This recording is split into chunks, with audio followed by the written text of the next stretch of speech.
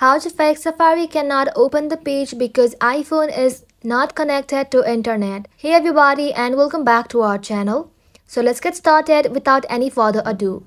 So if you are getting the error like Safari cannot open the page because your iPhone is not connected to internet, here are some troubleshooting steps to resolve this issue.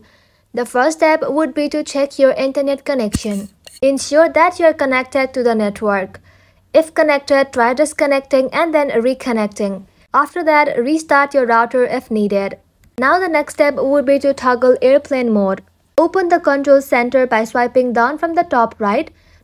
Turn the airplane mode on for 15 to 20 seconds and then turn it back off. Once you turn it off, simply reconnect to Wi-Fi or mobile data. Now, the next step would be to restart your iPhone as a simple restart can fix many issues. After you restart your iPhone, head over to your settings application. Now from here tap on general. From here scroll below and then tap on transfer or reset iPhone. Now from here you'll find two options. Simply tap on reset and then tap on reset network settings. This will help you to reset the Wi-Fi network or password and VPN settings. Once you do that, head back to settings, scroll below until you find Safari. After that, tap onto it.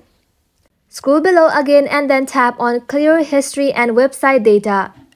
Now simply select all history and then tap on clear. This will help you to clear the cache and cookies. Now once it is done, if you are using a VPN, it may interfere with your connection. So try disabling the VPN if you are using one. Now after that, simply tap on General again, tap on Software Updates. Now from here, download or install any available updates. Once you do that, your problem will be fixed. And that is how you can do it guys. Thank you all for watching the video till the very end and stay tuned until our next upload.